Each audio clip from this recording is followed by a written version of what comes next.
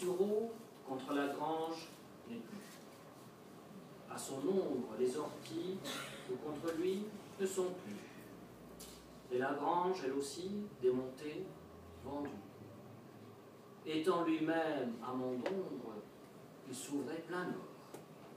En mai, nuit et jour, embaumait ses ombelles. De ses fruits noirs, mon grand-père tirait une eau de mort aux microbes.